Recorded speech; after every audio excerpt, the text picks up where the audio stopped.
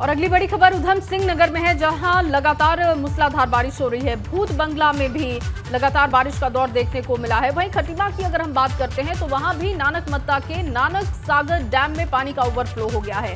Dam के सारे gate खोल दिए गए हैं और डैम से अचानक पानी छोड़े जाने से कई गाँवों में बाढ़ का खतरा दिखाई दे रहा है।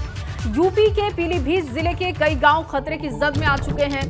दो दिन से लगातार उत्तराखंड में जहाँ भारी बारिश हो रही है, वहीं उधम सिंह नगर के सीमांत क्षेत्र खटीमा और उसके आसपास भी भारी बरसात हो रही है। पहाड़ों से लगातार हो रही बारिश से खटीमा से लगे नानक मत्ता जलाशय का जलस्तर भी बढ़ चुका है। नानक मत्ता जलाशय में लगातार बरसात की वजह से बढ़ रहे पानी की निगरानी डैम प्रबंधन के द्वारा की जा रही है। जलाशय से पानी की निकासी भी लगातार जारी है। पहाड़ों से हो रही लगातार बरसात की वजह से पानी के बढ़ते जलस्तर को देखते हुए अब यूपी सिंचाई विभाग के कर्मचारी अलर्ट मोड पर हैं। देखिए, तस्वीरें आपको दिखा रहे हैं। बाँध के कई गेट खोले जा चुके हैं, जिसकी वजह से पानी अब ये जिन इलाकों में पहुँच रहा है, उनके लिए परेशानी, ये पानी बनते जा रहा है। तस्वीरें आप देख सकते हैं। नानक, मत्ता की ये तस्वीरें हैं। पानी छोड़े जाने से कई गाँव में मंडराया बाढ़ का खतरा। नानक सागर डैम है ये, और इस वक्त डैम के कई गेट खोले जा चुके हैं। और ये जो पानी है, अब ये यूपी तक भी पहुँचता है, पीलीभीत से होते हुए। ऐसे में उन गाँव में भी खतरा बढ़ चुका है। ओवरफ्लो लगातार ये डैम हो रहा था, जिसकी वजह से यहाँ से पानी छोड़ा गया है। लेकिन लोगों को सतर्क रहने के लिए कहा गया है, और जो निचले इलाके हैं, वहाँ से लोगों को कहा जा रहा है कि वो कम से कम सुरक्षित जगहों पर पहुँच जाए। डैम के सारे गेट खोले जा चुके हैं और अब कोशिश यही की जा रही है कि लोगों को सुरक्षित जगहों पर पहुँचाया जाए और ये पानी लोगों के लिए परेशानी ना बने।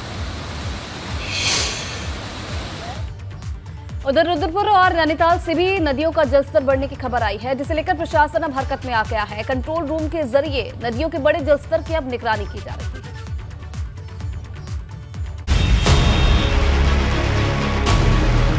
लगातार हो रही बारिश से रुद्रपुर में नदियों का जलस्तर बढ़ रहा है। जिला प्रशासन अलर्ट मोड पर है। अधिकारी खुद कंट्रोल रूम से हालात की निगरानी रख रहे हैं। सितारगंज से गुजरने वाले बरसाती नदी नालों के जलस्तर में इजाफा हो रहा है। इसे देखते हुए प्रशासन की तरफ़ से हेल्पलाइन नंबर जारी किया गया है, ताकि ज़रूरत पड़ने पर इस पर कॉल करके मदद मांगी जा सके। हम ने अपनी आपदा की बैठक भी कर ली है और हमारा कंट्रोल रूम फुल्ली एक्टिवेटेड है। चाहे वो सिंचाई विभाग हो, चाहे वो उप जिलाधिकारी हो, चाहे तहसीलदार हो, सभी को निर्देशित किया गया कि सभी अपने अपने फ़ील्ड में निगरानी बना के रखेंगे और जहाँ पर भी जल स्तर बढ़ने की संभावना प्रतीत होती है एडवांस में लोगों को बता दिया जाएगा। तो पूरा सिस्टम हमारा अलर्ट मोड में चल रहा है। बारिश की वजह से नैनीताल में भी नदियों का जलस्तर बढ़ रहा है। खैरना में शिप्रा नदी का जलस्तर बढ़ने से ग्रामीणों की नींद उड़ गई है। आगे से ग्रामवासी अपने घरों के छतों से बाहर निकलकर अपना माथा पकाकर बैठे हैं कि कहीं हमारे मकान पुनः 18-19 की आपदा की तरह जलस्तर पर समर्पित तो ना हो जाएँगे करके। पर, लेकिन प्रशासन द्वारा अभी तक सुरक्षा कार्य कुछ भी नहीं किया गया। कई बार संबंधित विभाग को एवं अधिकारियों को शासन स्तर को बता दिया गया। पिछले साल इसी नदी के उफान पर आने से बड़ी तबाही हुई थी। नदी का जलस्तर बढ़ने से लोगों के जहन में पिछले साल की घटना की यादें ताज़ा हो गई हैं। ग्रामीणों की नाराज़गी इस बात को लेकर है कि प्रशासन ने अब उनकी सुरक्षा को लेकर कोई कदम नहीं उठाया है। एबीपी गंगा के लिए नैनीताल से कमल जगाती के साथ रुद्रपुर से विकास कुमार की रिपोर्ट।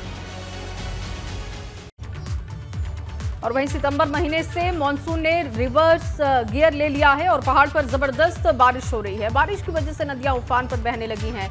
पहाड़ फिर से दरक रहे हैं। चंपावत में शारदा बैराज का जलस्तर बढ़ चुका है, जिस वजह से बैराज के किनारे पर रेड अलर्ट जारी किया गया।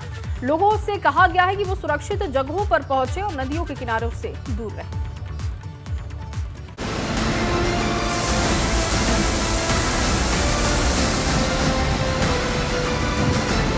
पहाड़ों पर लगातार हो रही बारिश से चंपावत में शारदा नदी का जलस्तर बढ़ गया है। शारदा बैराज से एक लाख छप्पन हज़ार क्यूसेक से ज़्यादा पानी डिस्चार्ज हो रहा है।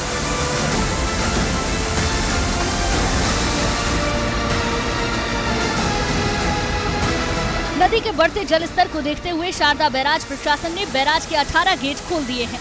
ऐसे में भारत नेपाल को जोड़ने वाले शारदा बैराज पुल पर रेड अलर्ट है। एहतियात के तौर पर भारत और नेपाल के बीच फ़िलहाल वाहनों की आवाजाही को भी रोक दिया गया है। क्षेत्रों में टनकपुर, बनबसा में जो वाटर लेवल है, वो डेढ़ लाख क्यूसेक क्रॉस कर गया था। तो वहाँ पे जो उसका फ्लड रिवर का फ्लड बैंक है, उस पर फ्लडिंग हुई है। जीएम साहब से और सबसे तहसीलदार इन सबने इंस्पेक्शन भी कर ली है मॉर्निंग में ही। और मॉर्निंग में इन्होंने सारे 18 गेट खोल दिए थे बराज के। तो पानी धीरे धीरे कम होगा।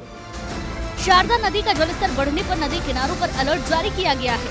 प्रशासन ने नदी किनारे के इलाके में अलर्ट जारी कर दिया है। लोगों को आगाह किया गया है कि वो अगले कुछ घंटे सावधान रहें और नदी के आसपास रहने वाले लोग सुरक्षित स्थानों पर शिफ्ट हो जाएँ। भारी वर्षा होने की वजह से नदी का जलस्तर काफ़ी बढ़ गया है। आप लोग सुरक्षित स्थान पर चले जाएँ और सतर्क रहें। एक लाख क्यूसेक पानी होने पर तुरंत हम लोग रेड अलर्ट घोषित कर देते हैं और बैराज से आवागमन पूरी तरह से बंद कर दी जाती है। इसकी सूचना डाउन स्ट्रीम ज़िले जैसे पीलीभीत, लखीमपुर, खीरी बहराइच, गोंडा आदि के डीएम एसपी और संबंधित अधिकारियों को सूचित कर दिया जाता है। जनकपुर नगर पालिका की तरफ़ से लोगों को लाउडस्पीकर के ज़रिए अलर्ट किया जा रहा है। बारिश की वजह से पहाड़ियाँ भी दरक रही हैं, जिस वजह से चंपावत ज़िले के कई अहम मार्ग बंद हैं। एबीपी गंगा के लिए चंपावत से अनुज की रिपोर्ट।